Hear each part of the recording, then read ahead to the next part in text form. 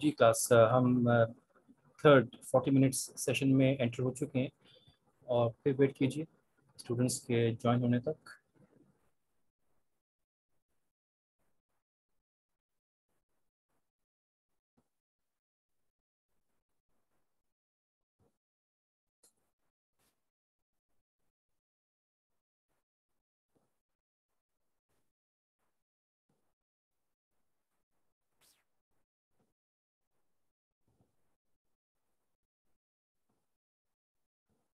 जी class चंद minute होते हैं शुरू में।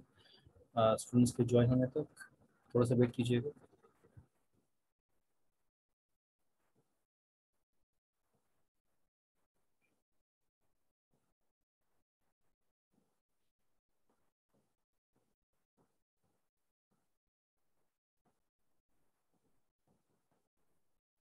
Uh,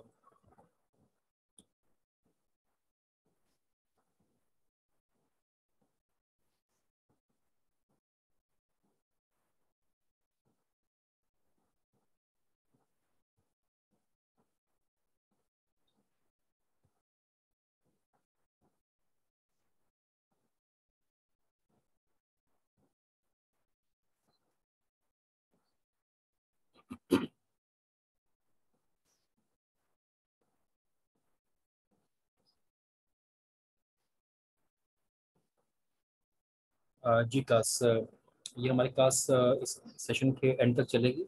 अभी हम कुछ आपसे डिस्कस करेंगे आपकी रिमेनिंग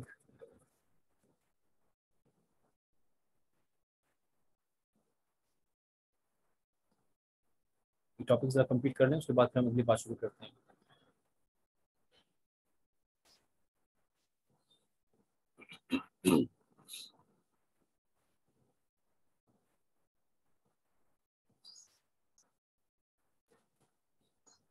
क्लास ये हमने अभी डिस्कस कर लिया था और ये बात हमारी मुकम्मल हो चुकी थी।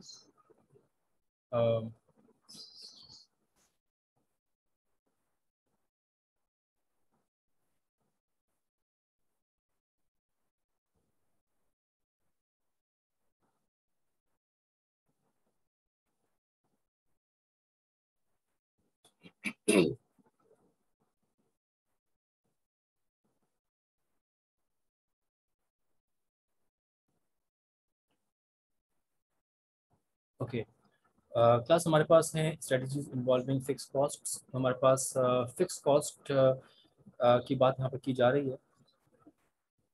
और वो इस तरह से है इसको आप जब पूरा पढ़िएगा तो आपको समझ में आ जाएगा मैं आपको सारा वर्बली बता रहा हूँ कि यहाँ पर ऐसा है कि एक कंपनी है और वो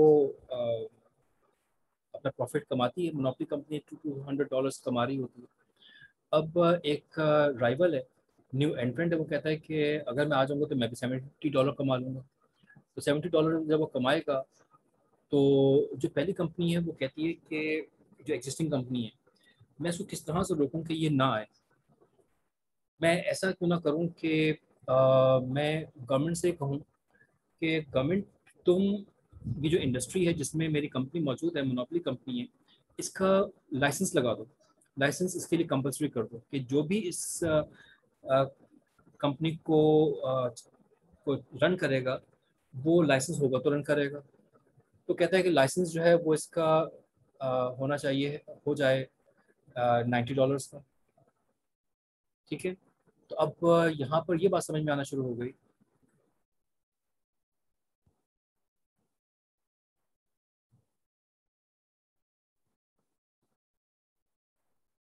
तो यहाँ पर ये पता चला क्लास के हमारे पास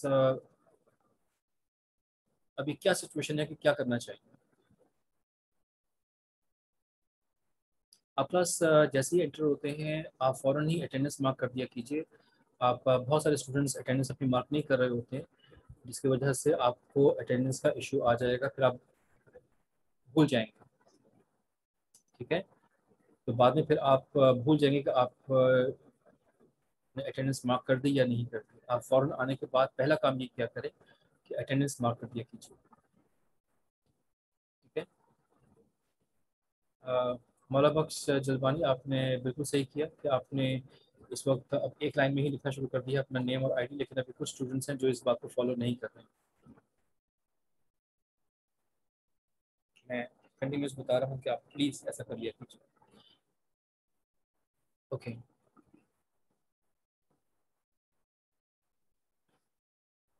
यहाँ तक ये बात क्लियर हुई क्लास यहाँ पे आपको ये तमाम वर्डिंग्स मिल जाएँगी, कहाँ कहाँ पर ज़ीरो अर्निंग होगी, कैसे होगी, इस बात को देखने के लिए हमारे पास ये सारे टेक्स्ट वही चल रहा है। ठीक है? तो जब आप इस टेक्स्ट को पढ़ेंगे पूरे स्टोरी की तरह से कि क्या हुआ, दूसरे फॉर्म ने क्या कहा, पहले फॉर्म ने क्या कहा तो हमारे पास जो फैक्ट्स एंड फिगर्स आएँगे, ये फैक्ट्स एंड फिगर्स अल्टीमेटली हमारे पास जा रहे हैं और हमें रेफर कर रहे हैं कि हम फिगर 13.5 पे जाकर देखें तो हम फिगर 13.5 को व्यू करने जा रहे हैं, इन तमाम डिटेल्स को वहाँ पे जाकर स्टडी करेंगे। 13.5 ठीक है? और ये फिगर हमारे पास ये है 13.5 राइजिंग अराइवल्स फिक्स कॉस्ट ये हमारे पास यहाँ पे बात हो रही है। अब इस ट्री डायग्राम को बनाने का तरीका मैं आपको पहले भी बता चुका हूँ, हमारे इस चैप्टर की बिगनिंग में भी था, कि इस ट्री डायग्राम को किस तरह से प्रिपेयर किया जाता है। और मैंने आपको आज ये भी बताया था बिल्कुल क्लास की बिगनिंग में कि आपको यहाँ पे कुछ नए वर्ड्स मिलते रहेंगे। यहाँ पर हमारे पास इंकम्बेंट लिखा हुआ है, ये मतलब वही जो मोनोपोलिक कंपनी है फर्म वन है जो पहले से मौजूद है एग्जिस्टिंग कंपनी है, इसको हम कई नामों से भी जान चुके हैं। इनकम्बेंट की बात की जा रही और पोटेंशियल एंट्रेंट ये हमारे पास ये एंट्रेंट हो सकता है तो इसलिए फिर यहाँ पर ये बात हो रही है।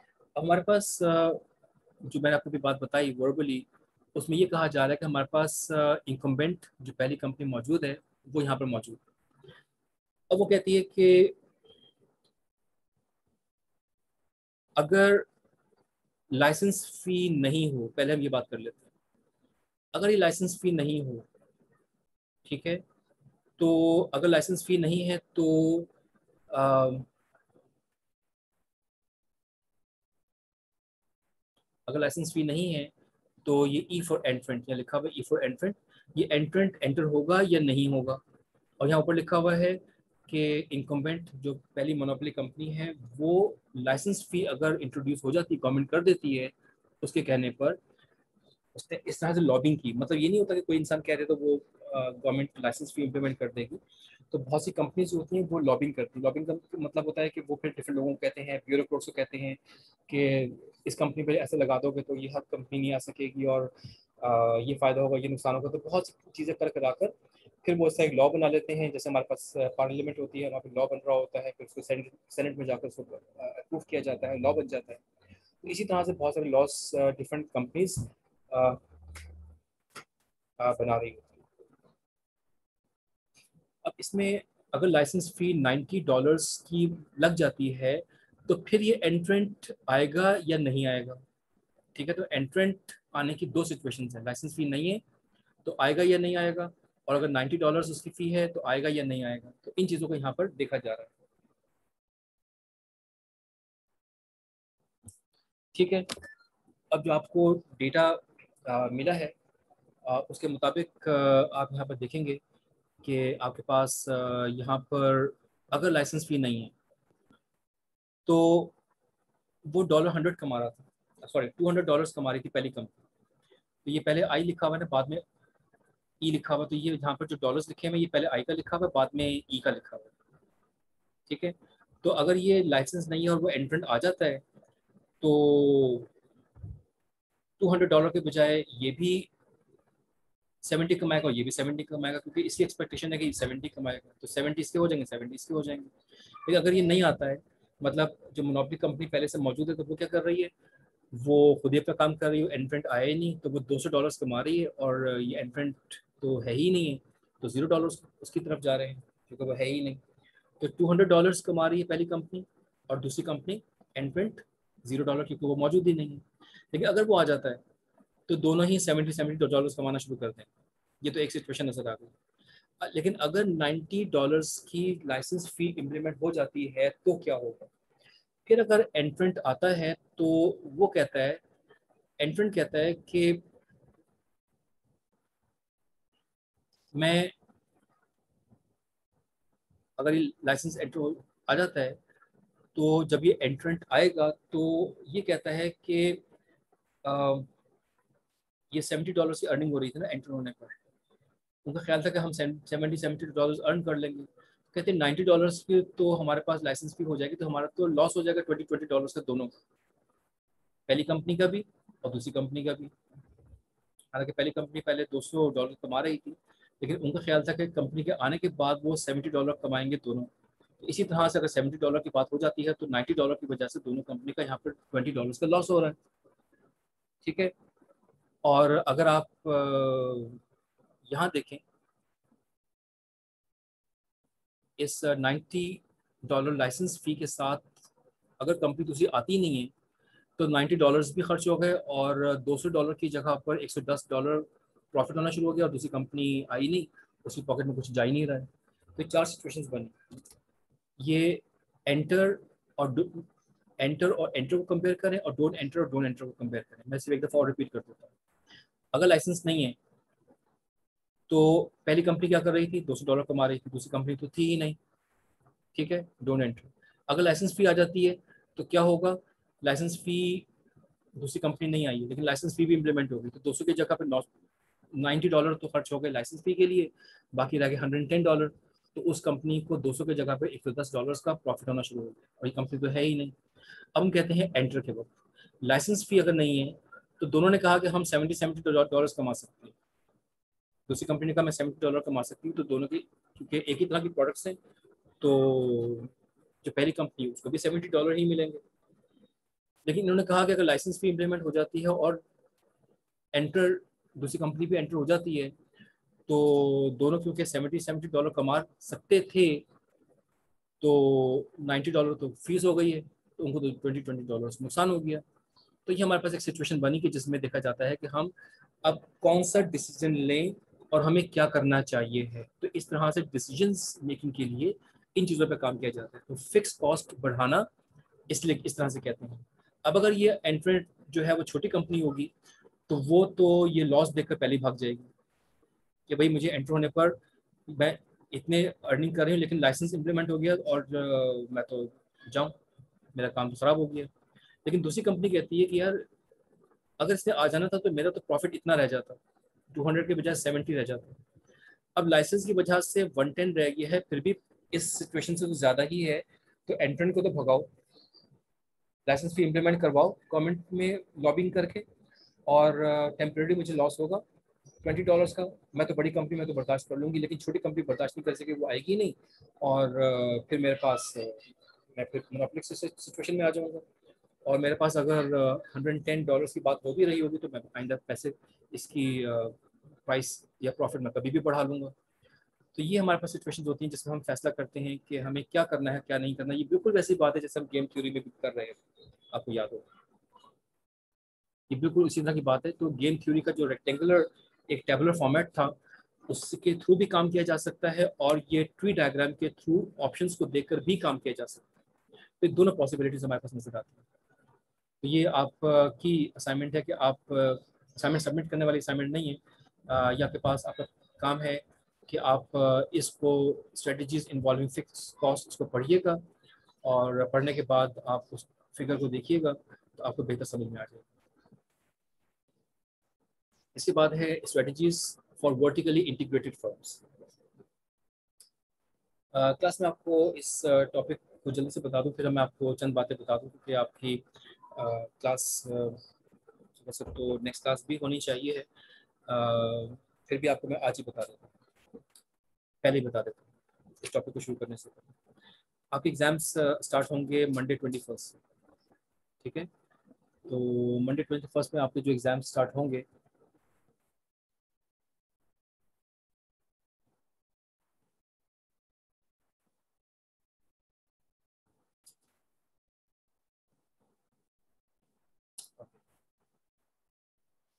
मंडे ट्वेंटी फ़र्स्ट को आपके एग्ज़ाम स्टार्ट होंगे, इसमें आपका कंप्लीट सिलेबस होगा जितना हमने पढ़ा है। और, ठीक है? और क्योंकि ये ऑनलाइन एग्ज़ाम होगा तो इसलिए फिर आपका, जैसे पहले ऑनलाइन एग्ज़ाम हुआ था कि आपको पेपर दे दिया गया था आपने उसको अटेम्प्ट किया था आपने सबमिट कर दिया था।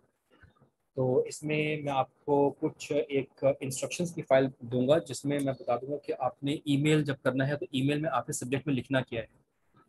ठीक है? अगर आप उन चीज़ों को फॉलो नहीं करेंगे तो फिर आपके मार्क्स कम हो जाएँगे। नेगेटिव मार्किंग हो जाएगी आप भी नोट करते रहिए, मैं भी साथ साथ नोट कर रहा हूँ कि मुझे आपको क्या क्या चीज़ प्रोवाइड करनी है।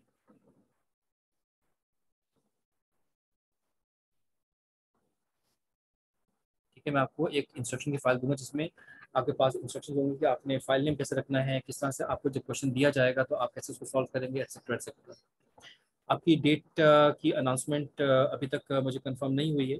लेकिन अगर मंडे से पेपर शुरू हो रहे हैं तो जिस तरह से आपके मिड टर्म के एग्ज़ाम शुरू हुए थे और आपको सैटरडे के दिन ही आपको आपका एग्ज़ाम दिया गया था मिड टर्म एग्ज़ाम तो इसी तरह से मेरा ख्याल ये है मैं हंड्रेड परसेंट श्योरिटी से ये बात नहीं कर रहा हूँ क्योंकि मेरे पास अभी आ, आ, आपके एग्ज़ाम का टाइम टेबल या डेट शीट मेरे पास अवेलेबल नहीं है। तो मुझे उसका स्केजूल अभी तक मिला नहीं है कंफर्म नहीं हुआ है। उम्मीद यही है कि शायद उसी टाइम पर हो, लेकिन आप लोग भी देखिएगा और मैं भी देखूँगा कि उसकी डेट टाइम क्या हो सकता है। इसके बाद जो आपको मैंने कहा कि मैं आपको कुछ एक वर्ड की फ़ाइल या किसी भी तरह से आपको इंस्ट्रक्शंस लिखकर आपके ग्रुप पर सेंड कर दूँगा तो आप उसको पढ़ लेंगे। तो उसमें आपको मैं आपके जो फाइनल एग्ज़ाम होगा उसका फॉर्मेट भी फर्दर बता दूँगा, लेकिन शॉर्टली बता दूँगा कि ये सब्जेक्टिव टाइप ही होगा, जिसमें कुछ न्यूमेरिकल्स भी हो सकते हैं जिनको आप सॉल्व करेंगे और उसको आप फिर सबमिट करेंगे, जो भी तरीका मैं आपको बता दूँगा, उसमें तमाम डिटेल्स लिखी हुई। ठीक है क्लास ये तो आपके फाइनल एग्ज़ाम से रिलेटेड बात हो गई, जो मुझे मजीद कुछ और नहीं बताना है। इसमें ये आपका फिफ्टी मार्क्स का होगा। ठीक है? आपके फिफ्टी मार्क्स का होता है। और इसमें क्लास आपके जो मिड टर्म एग्ज़ाम हुआ था, वो ट्वेंटी मार्क्स का था। चैट में लिख के बताइएगा मुझे कि आपका जो मिड टर्म हुआ था वो ट्वेंटी मार्क्स का ही था ना? तो ये लिख के मुझे बता दें कि आपका मिड टर्म ट्वेंटी मार्क्स का ही था?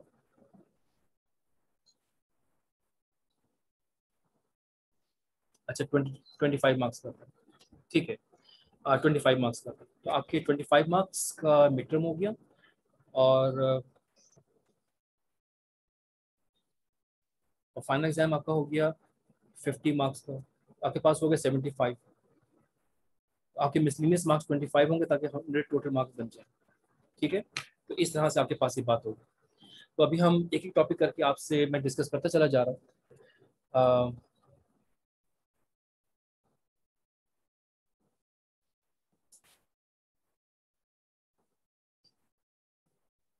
अभी हमने फाइनल की बात कर ली कि सिलेबस आपका वही होगा।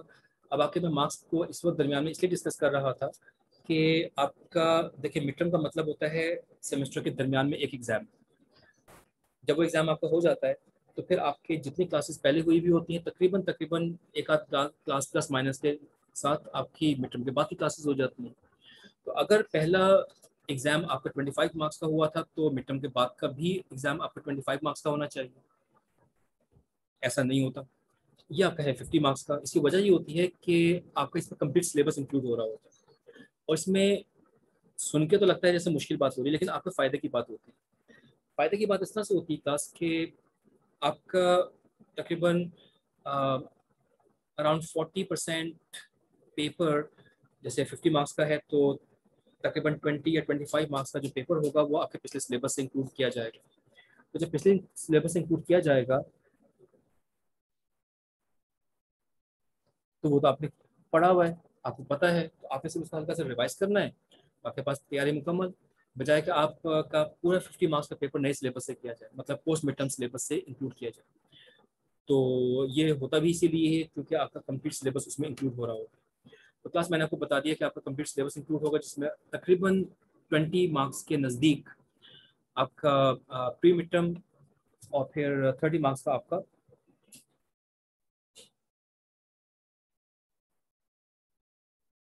सिलेबस इंक्लूड होगा ठीक है? इसके बाद क्लास आपके जो जहाँ तक ताल्लुक है आपके मिड टर्म एग्ज़ाम्स के रिज़ल्ट का वो इंशाल्लाह आपको आ, मैं कोशिश करूँगा कि आपको आज या कल किसी वक्त आपको वो बता दूँ वो भी मैं आपको ग्रुप पे ही बता दूँ। ठीक है? आपको वो ग्रुप पे ही बता दिया जाएगा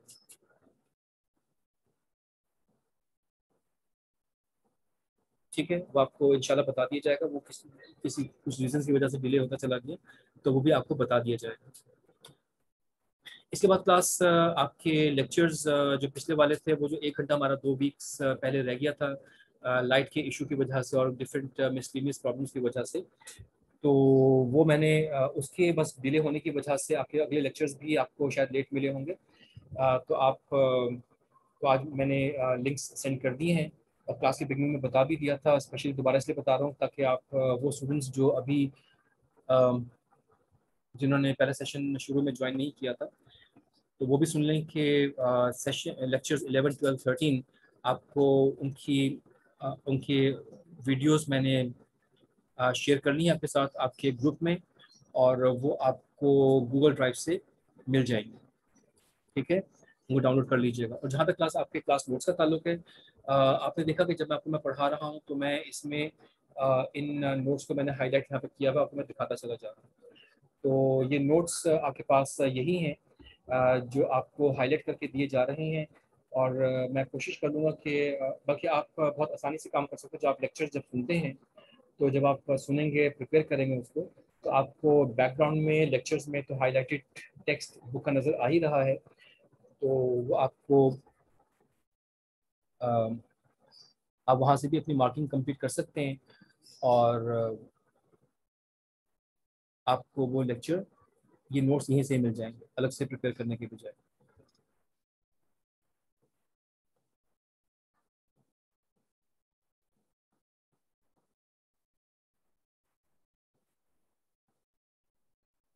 ठीक है क्लास और इसके बाद, जहाँ तक ताल्लुक रह गया आपके 25 मार्क्स मिड टर्म और फाइनल के 40 मार्क्स ये बने 75 मार्क्स आपको 25 मार्क्स की रिमेनिंग की बात हो रही है। तो क्लास मैं आपको इसमें दो असाइनमेंट्स दे दूँगा। तकरीबन twelve point five twelve point five marks की जो थोड़ी सी क्वेश्चन होंगे, जो कि थोड़ा सा आपको इन्फॉर्मेशन सर्च करनी होगी। वो इन्फॉर्मेशन सर्च करके आप मुझे सबमिट कर दीजिएगा तो उसके बेस पर आपको उसके मार्क्स मिल जाएँगे। ठीक है? तो आपकी ये क्लास पार्टिसिपेशन मतलब जो इंटरनल मार्क्स हैं ट्वेंटी फाइव मार्क्स है वो भी आपके कवर हो जाएँगे और आपके हंड्रेड मार्क्स इस तरह से कंप्लीट हो जाएँगे। ठीक है? तो ये भी मैं ट्राई करूँगा कि आपको आज ही प्रोवाइड कर दिया जाए, ताकि आप उन पर भी काम शुरू कर दें। और जो बहुत लेंदी नहीं होंगे आप उनको देखेंगे तो फिर आपको वो समझ में आ जाएगा। और मैं आपसे उसकी डिटेल्स आपके ग्रुप पर एक वर्ड फ़ाइल सेंड करके कंप्लीट डिटेल्स देकर आपसे इंफॉर्मेशन शेयर कर लूँगा तो ये आपके पास आजकल में ये तमाम बातें मतलब आपके मिड टर्म का रिज़ल्ट आपको आपके असाइनमेंट से रिलेटेड डिटेल्स तो ये आपको मिलना शुरू हो जाएँगे इंशाल्लाह। ठीक है? सो so, क्लास ये चंद बातें थी जो मुझे आपसे डिस्कस करनी थी लेक्चर के दरमियान में। और हमारे लेक्चर में अभी हैं, अभी पंद्रह मिनट क्योंकि दरमियान में कुछ डिले आ गया था, कुछ टेक्निकल ग्लिचेस आ गए थे प्रॉब्लम्स आ गई थी, जिसकी वजह से हमारा आज फ़र्स्ट सेशन के बाद सेकंड सेशन में थोड़ा सा डिले आ गया था। तो इसलिए हमारी क्लास जो तीन बजे एंड होनी थी, वो भी दस पंद्रह मिनट के बाद एंड हो जाएगी इन ठीक है? और बाय द वे इस वक्त ये सेशन हमारा चल रहा है। आप किसी को कोई बहुत इम्पोर्टेंट काम हो तो आप यहाँ से जा सकते हैं। और मतलब क्लास हमारी थोड़ी सी एक्सटेंड हो गई है आज किसी टेक्निकल इशू की वजह से। तो किसी को कोई बहुत ज़्यादा इशू हो जाने का तो आप जा भी सकते हैं अलाउड और बाकी स्टूडेंट्स सुनते रहे। दस पंद्रह मिनट की तो बात ही है। तो दस पंद्रह मिनट आप लेक्चर को और सुन लीजिए। चलें क्लास हम कंटिन्यू करते हैं अपने लेक्चर को। और हम बात कर रहे थे strategies for vertical integration integrated firms अब क्लास मैं आपको इसको वर्बली बताऊँ कि इसमें होता क्या है? जब हम फर्म्स की वर्टिकल इंटीग्रेशन की बात करते हैं या हॉरिजॉन्टल इंटीग्रेशन की बात करते हैं, इन दोनों में फ़र्क होता है। शायद हमने पहले भी डिस्कस किया हो या आप किसी और सब्जेक्ट में पहले भी पढ़ चुके होंगे। तो मैं आपको फिर भी बता देता हूँ। हॉरिजॉन्टल इंटीग्रेशन जो यहाँ पर लिखी भी नहीं है, उसका ताल्लुक भी यहाँ पर नहीं है इस वक्त सिर्फ़ बता रहा हूँ ताकि आपको कंपैरिजन समझ में आ जाए वर्टिकल इंटीग्रेशन का मतलब क्या होता है। एक फर्म है, वो कहती है कि मैं कार्स बना रही हूँ। वो कहती है कि मैं मोटरसाइकिल भी बनाऊँगी, मैं जनरेटर्स भी बनाऊँगी, क्योंकि जनरेटर में भी तो इंजन इस्तेमाल में आता है तो मुझे बनाने में फ़ायदा हो जाएगा। इसी तरह से मैं और भी चीज़ें बनाऊँ। तो इस तरह से इसका मतलब हुआ कि उसकी हॉरिजॉन्टल इंटीग्रेशन होती चली जा रही है, वो अपनी डिफरेंट प्रोडक्ट लाइन को बढ़ाते चले जा रहे हैं। लेकिन एक कंपनी ये कहती है कि मैं कार्स मैन्युफैक्चर करती हूँ तो कार्स मैन्युफैक्चर करने के लिए इंजन तो हम खुद मैन्युफैक्चर करते हैं, लेकिन हम इसके लिए इसके बॉडी पार्ट्स जैसे कि व्हील सिस्टम हो सकता है चेसिस है सीट्स हैं डैशबोर्ड है, उसके डिजिटल मीटर्स हैं लाइट्स है इलेक्ट्रिक सर्किट्स हैं, और बहुत से और चीज़ें हैं। ये हम डिफरेंट कंपनीज़ से ख़रीदते हैं सप्लायर से लेते हैं, और हम इनको असेंबल करते हैं, और फिर हम अपने कस्टमर्स को सेल कर देते हैं। तो कहते हैं कि इसमें कुछ चीज़ें ऐसी हैं, जैसे कि इसके फॉर एग्ज़ाम्पल व्हील सिस्टम है, वो भी हमें खुद ही बनाना चाहिए। इसका जो फॉर एग्ज़ाम्पल इसके जो इंटरनल डिजिटल सिस्टम है स्क्रीन डिस्प्लेज हैं, वो भी हमें खुद ही बनाना चाहिए। इससे जो आपको पता है, आजकल हर कार में ही कुछ कंप्यूटराइज सिस्टम्स लगे हुए होते हैं, जो उसके इंटरनल बहुत सी चीज़ों को मैनेज करते हैं। इलेक्ट्रॉनिकली उन चीज़ों की इंटरनली फ्यूल की और बहुत सी और चीज़ों की मैनेजमेंट हो रही होती है। तो वो हम खुद ही बनाएँगे। अब इस तरह की चीज़ें जो वो पहले किसी सप्लायर से लेते थे, लेकिन अब वो खुद बनाने का सोच रहे हैं, इसे कहते हैं वर्टिकल अपवर्ड अपस्ट्रीम कहा जाता है, जैसे लिखा हुआ ना अपस्ट्रीम अपस्ट्रीम कहा जाता है। इसी तरह से हमारे पास एक होती है डाउन स्ट्रीम डाउन स्ट्रीम में वो कहता है कि मैं मैन्युफैक्चर कर लिया करता था और मेरे पास डिस्ट्रीब्यूटर थे और मैं डिस्ट्रीब्यूटर्स को देता था, वो खुद ही होलसेलर को पहुँचा देते थे और रिटेलर तक जाते थे। लेकिन चलो, अब मैं ऐसा करता हूँ कि मैं खुद ही डिस्ट्रीब्यूशन भी करूँगा और होलसेलर्स तक भी पहुँचाऊँगा और मैं रिटेलर्स तक भी पहुँचाऊँगा। इसका मतलब उसने वो काम भी खुद करना शुरू कर दिया। तो अपने वर्टिकली तमाम काम सप्लायर के भी बहुत सारे काम और मैन्युफैक्चरिंग से रिलेटेड काम तो वो पहले भी करता था, वो और ज़्यादा करना शुरू कर दिए और फिर उसके बाद डाउन स्ट्रीम में भी उसने बहुत सारे काम करना शुरू कर दिए। ठीक है? अब यहाँ पे जो एग्ज़ाम्पल लिखी हुई है अच्छा मैंने कोई सारी बात बता दी है अपस्ट्रीम या डाउन स्ट्रीम इसका मतलब ये है कि इसे कहते हैं वर्टिकल इंटीग्रेशन वो अपने पास बहुत से काम इंक्लूड करता चला जा रहा है। वो कंपनी इंक्लूड करती चली जा रही है। चलो हम ऐसे बात कर लेते हैं कि इस कंपनी ने कहा कि मैं अप स्ट्रीम में बहुत सी चीज़ें वर्टिकली इंटीग्रेट कर लेती हूँ। फॉर एग्ज़ाम्पल इसमें मुझे आ, कार का इंजन तो खुद बनाना ही था। इसके बाद मैं इसके अंदर कंप्यूटराइज सिस्टम या सीट्स या व्हील सिस्टम या चेसिस ये भी मैं खुद ही मैन्युफैक्चर कर लूँ। मुझे कहीं से लेना ना पड़े। ठीक है? तो उसने जब ये सोचा तो उसने मार्केट में क्योंकि उसका एक बड़ा नाम था उसने बड़ी आ, उसकी आ, कार की सेल्स होती थी होती हैं तो उसने कहा कि मैं ये काम खुद करना शुरू कर दूँ। तो जब उसने करना शुरू कर दिया तो उसकी वजह से हुआ ये कि जो, क्योंकि उसमें बड़ा काम था तो जब उसने खुद से काम करना शुरू कर दिया तो सप्लायर मार्केट में मौजूद ही नहीं है। तो जब सप्लायर मार्केट में मौजूद नहीं है उन प्रोडक्ट्स के तो कंपैटिटर को अगर कार का डिजिटल सिस्टम किसी जगह से लेना था और मार्केट में अब चलो एग्जांपल लेके बात कर लेते हैं। टोयोटा है। टोयोटा कहती है कि मैं जापान में बहुत ज़्यादा प्रोडक्शन हो रही है। तो मैं कार, अपनी जितनी भी व्हीकल्स हैं, उनके अंदर स्क्रीन डिस्प्लेस और उसके कंप्यूटराइज सिस्टम्स को मैं खुद ही मैन्युफैक्चर करूँ। मैं व्हील सिस्टम को भी खुद मैन्युफैक्चर करूँ। इंजन तो मैं करती ही हूँ। तो अब फॉर एग्जांपल मेरी कंपनी है और मैंने कहा कि उस कंपनी का नाम है एक्स वाई जेड ऑटोमोबाइल्स और मैंने कार बनाना शुरू कर दी। अब मैंने जब बनाना शुरू कर दी तो मैं जब टोयोटा डिजिटल अपने मीटर्स या डिस्प्लेज किसी से लिया करता था तो मैं भी उनसे ले लिया करता था। लेकिन टोयोटा ने कहा कि नहीं तो मैं खुद बनाऊँ। अब मुझे क्या करना पड़ रहा है? जब टोयोटा एक बड़ी कंपनी ने सारा काम खुद करना शुरू कर दिया तो मैं छोटी कंपनी मुझे अगर मार्केट से लेना होगा तो वो जो सप्लायर्स थे टोयोटा को सप्लाई करने वाले डिजिटल मीटर्स के और डिजिटल डिस्प्लेस के वो मार्केट से खत्म हो गए, इसलिए उन्होंने कहा, यार टोयोटा ने तो खुद बनाना शुरू कर दिया, अब हम चंद छोटी छोटी कंपनी से क्यों बना कर दें? या बना के भी देंगे तो हमारी कॉस्ट ज़्यादा आ रही है इकोनॉमीज ऑफ़ स्केल का काम ही नहीं हो रहा है। तो जब हमारी कॉस्ट ज़्यादा आ रही है तो फिर इसका मतलब है कि हमें थोड़ा महँगा पड़ेगा। तो जब मैं उनके पास ख़रीदने के लिए गया तो टोयोटा ने कहा कि, भाई, अगर तुम मुझसे ख़रीदोगे, है तो मेरा राइवल टोयोटा इस एग्ज़ाम्पल में। तो उसने कहा कि, मैं तुम्हें इतने का दूँगा अपनी प्राइस पर मतलब महँगा। तो मैंने कहा कि ये तो टोयोटा इतना महँगा क्यों दे रहा है? तो मैं जो सप्लायर से, उनसे क्यों ना ले लूँ? मैं सप्लायर के पास गया सप्लायर कहता है इकोनॉमिक इकोनॉमी ऑफ़ स्केल की बात तो होती नहीं है, इसलिए मुझे कॉस्ट ज़्यादा आती है, इसलिए मैं तुमसे कॉस्ट ज़्यादा लूँगा। तो मुझे जो ऑल्टरनेट मिला, उस प्रोडक्ट का अपनी कार में लगाने के लिए वो महँगा मिल रहा है। मतलब कहने का ये है कि वर्टिकल इंटीग्रेशन तो टोयोटा ने कर ली, उसकी वजह से मेरी कॉस्ट बढ़ गई और मेरी तरह की और छोटी छोटी ऑटोमोबाइल कंपनीज़ की कॉस्ट बढ़ गई। जब ये कॉस्ट बढ़ जाएगी, ठीक है? जब ये कॉस्ट बढ़ी तो इसका मतलब मेरी कंपनी को कॉस्ट ज़्यादा मिल रही है। जब कॉस्ट ज़्यादा मिल रही है तो जब मैं मार्केट में आऊँगा तो मैं मार्केट में कहूँगा कि यार, मुझे प्रॉफिट तो कम मिल रहा है प्राइस थोड़ी बढ़ा देनी चाहिए। लेकिन टोयटा क्या करेगा? टोयटा कहेगा, यार इकोनॉमी ऑफ़ स्केल और तमाम वर्टिकल इंटीग्रेशन की वजह से मेरी कॉस्ट तो कम हो गई है। तो मैं मार्केट में जाकर अपना प्रॉफिट उतना ही रखूँ और मैं उसको कम कर दूँ। प्रॉफिट प्राइस कम कर दूँ? या प्राइस को मैं ना बढ़ाऊँ वक्त के साथ साथ? दूसरी कंपनी को बढ़ानी पड़ेगी क्योंकि इन्फ्लेशन भी तो होती है प्राइस के अंदर चेंजेस भी आते रहते हैं। तो इस तरह से वर्टिकल इंटीग्रेशन की वजह से, जैसे यहाँ लिखा हुआ है, अब मैं आपको पढ़ के सुनाता हूँ। In chapter six we have learn that vertical integrated firms produce in both the upstream input market जहाँ से सप्लाई मिलती है उनको and the downstream output market जहाँ पर डिस्ट्रीब्यूटर्स होलसेलर्स और सप्लायर्स होते हैं।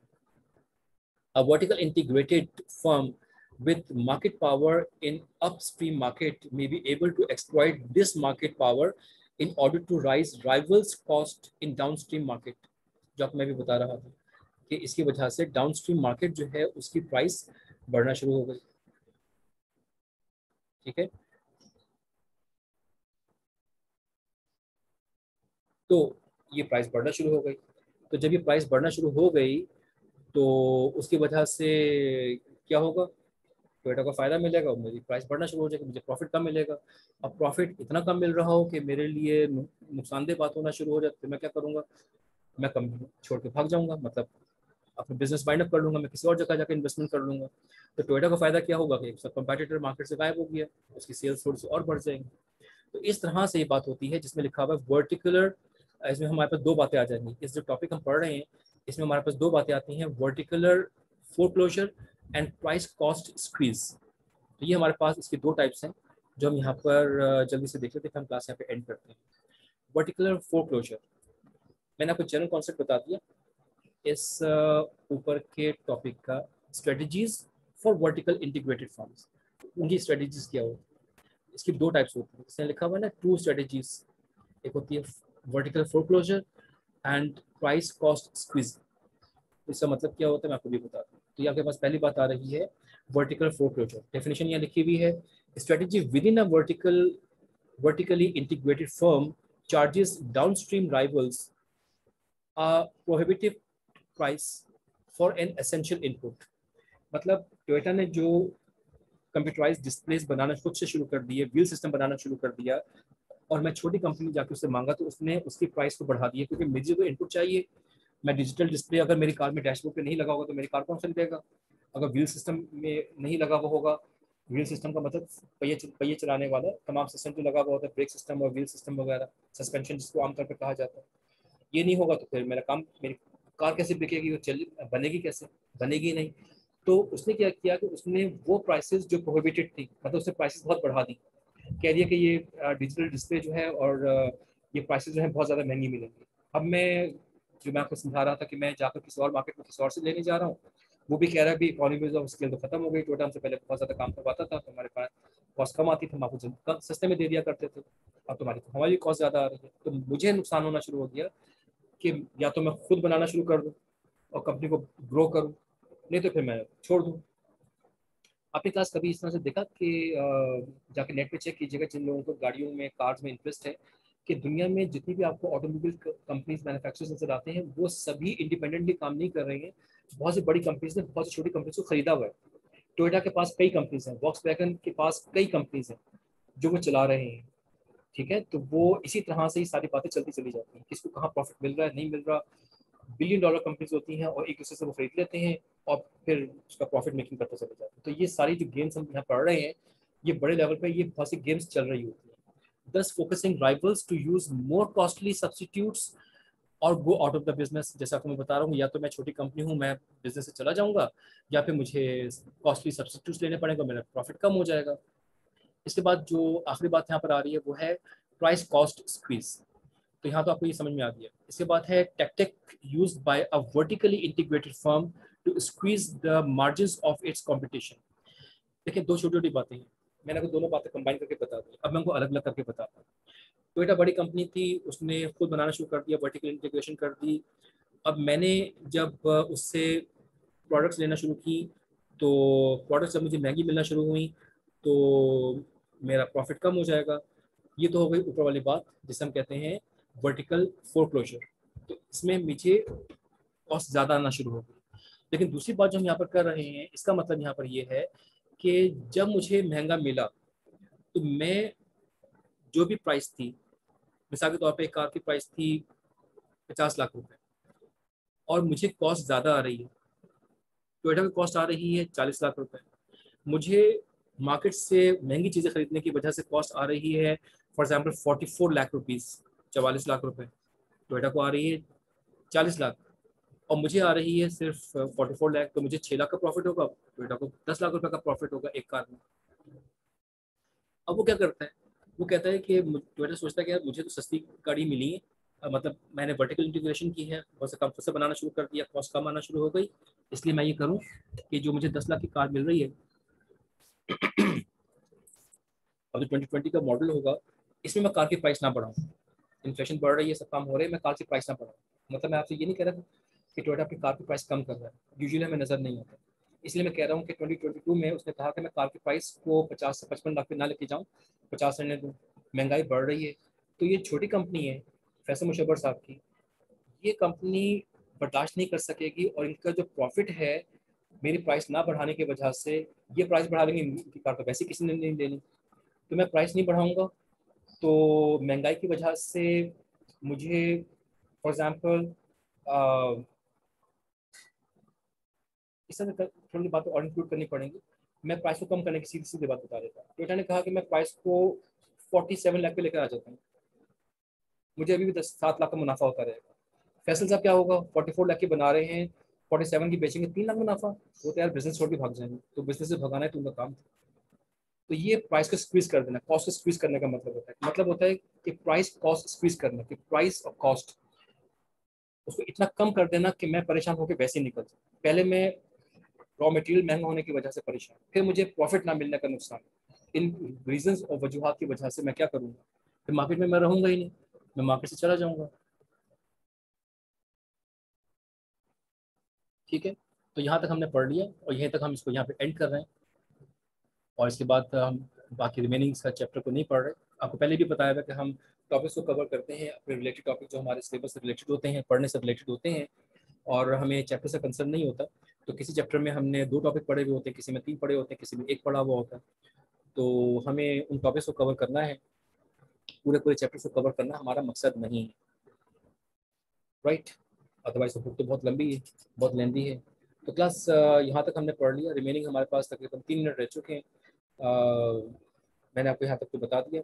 आपके पास कोई क्वेश्चन है तो आप डिस्कस कर सकते हैं। और मैं आपको दिखा दूँ कि ये हमने इस वक्त पढ़ ली है page number five zero four नज़र आ रहा है। इसका मतलब हमने फाइव ज़ीरो थ्री तक पढ़ लिया ठीक है? और, जो आपको मैं अभी बता चुका हूँ, आपके, आपकी फाइनल एग्ज़ाम से रिलेटेड डिटेल्स आपको मैं ग्रुप पे शेयर कर लूँगा, जो भी मुझे और एडिशनल डिटेल्स मिलना शुरू हो जाएँगी। मिड टर्म मैंने आपको बता दी कि आपको एक दो दिनों में वो चीज़ें मिल जाएँगी मार्क्स मिल जाएँगे। और लेक्चर्स मैं आपको ऑलरेडी दे चुका हूँ, ये लेक्चर नंबर फोर्टीन है। आज का इस वक्त ये भी इंशाल्लाह आपको जल्दी ही मिल जाएगा, कोशिश करूँगा कि ये भी आज ही मिल जाए आपको। और फिर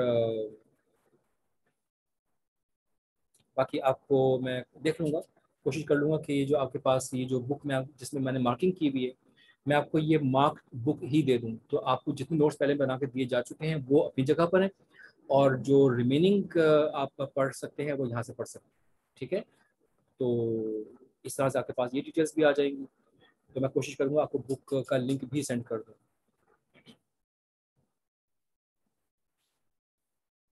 जी, बिल्कुल जी, जवेरिया आपके जो न्यूमेरिकल क्वेश्चंस होंगे या जो थ्योरेटिकल सब्जेक्टिव क्वेश्चंस होंगे, ये दोनों ही आपके कंप्लीट सिलेबस से होंगे।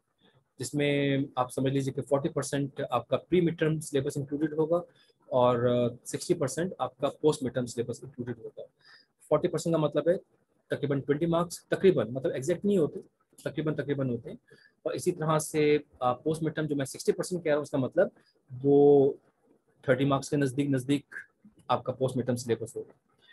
तो क्योंकि आपको पता है एग्ज़ाम के नज़दीक जिस वक्त एग्ज़ाम कंडक्ट हो रहा होता है टाइम कम होता है, आपको लिमिटेड टाइम में सबमिट करना होता है तो इसलिए प्लीज़ आप एक काम ये कर लीजिएगा कि अपने तमाम नोट्स किसी एक फोल्डर में इकट्ठे कर लीजिएगा, जितनी भी फाइल्स मैं आपको प्रोवाइड कर चुका हूँ वो।